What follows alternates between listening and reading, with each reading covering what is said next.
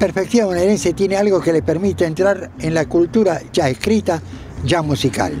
Vamos a continuar la nota con el escritor Francisco Vázquez, especialmente después de haber presentado su primer libro en la Biblioteca de Tigre, un tríptico titulado Amo del Fuego, El Amo del Fuego, un nuevo clásico que relata en la novela un delta del Paraná con ambiente, paisajes y personajes atrapantes.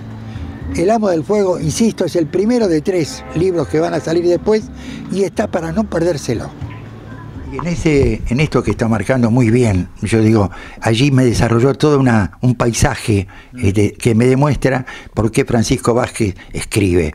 Porque, tiene todo eso dando vuelta dentro de sí y en un momento dado lo vuelca, obviamente. Pero yo decía, este, eh, hay momentos hubo momentos de este delta en el que la juventud del delta se fue y dejó solamente a la gente mayor adentro, ¿no? Y esto está marcando un momento difícil de este delta que después eh, viene costando levantarlo, ¿no? El delta prosperó mucho merced a la inmigración. Y yo lo trato en eh, porque estas novelas son tres. Son, es un tríptico que comprende tres novelas. La primera, El amo del fuego, que es esta, la que estamos presentando ahora, transcurre entre los años 1891 y 1894, acá lo dice, que es la época todavía de la inmigración europea al delta. También hubo inmigración criolla y gente que trabajó mucho criolla, etcétera. La segunda novela, eh, que se intitula Los fugaces pájaros del amanecer, transcurre entre 1919 y 1924. Esa gente ya está establecida, sí, hay todavía inmigración, pero está ya establecido el, inmigrante en el Delta. Y la tercera novela, Los fantasmas de la memoria, transcurre entre los años, eh, en, las décadas de 1940 a 1960 del siglo XX. Eh, esa, ese, digamos, eh, florecimiento del delta se produjo en gran medida por esa gente europea que sabía cultivar los frutales, por ejemplo, que sabía injertar, que sabía podar, que sabía abonar eh, la tierra, etcétera, etcétera. Transcurren los años y esa gente progresa y tiene hijos pero no quiso, muchos de ellos no quisieron que los hijos permanecieran ahí en un lugar este, tan aislado.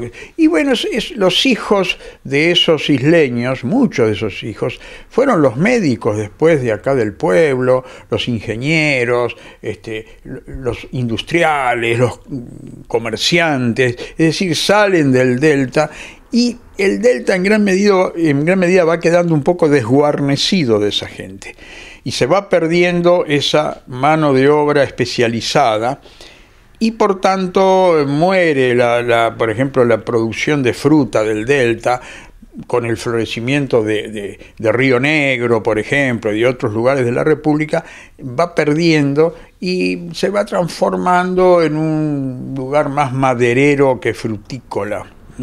Y yo, yo he visto, perdóneme, este, Francisco, que lo interrumpa, yo he visto este, volcar este, frutas, porque lo que le pagaban acá no justificaban haber venido con el, con el lanchón hasta acá, y la volcaban este, tristemente, ¿no?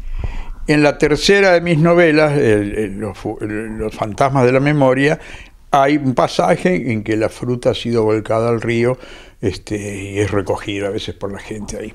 Este, sí, sí, sí, es verdad eso o no las volcaban al río, pero dejaban, por ejemplo, yo he ido a la quinta de los Risiak, que viven todavía acá a la vuelta, este, más de una vez, y Aquiles Risi, el propietario, había dejado perder toda la cosecha de unas hermosísimas naranjas, bellísimas naranjas, porque no les convenía recoger la cosecha. Entonces nosotros recogíamos nada más que las naranjas del suelo. Del árbol nunca, porque las del suelo eran las más maduras, las más dulces, las más ricas. Este, y bueno, sí, eso lo he presenciado. Y llegó un momento de la vida de Francisco Vázquez que todo eso este, empezó a, moverse, a moverse dentro de sí para tenerlo que volcar en un, en un libro, en varios libros. En gran esto es un servicio público, Osvaldo Magistris, es un servicio público. Eh, yo el libro lo voy a tener que vender.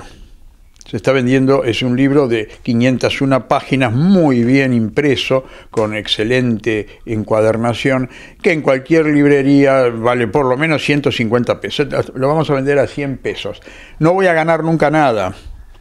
Pero le va a servir para proyectar. Pero con lo que recupere de acá voy a tratar de publicar el segundo libro y con lo que recupere ahí, siempre poniendo plata encima, porque no va a ir a dar déficit siempre, tratar de publicar el tercero.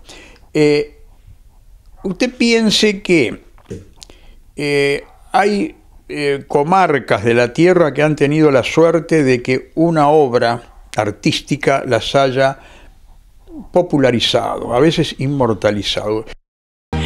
Vení, volá, vení, la, la, la.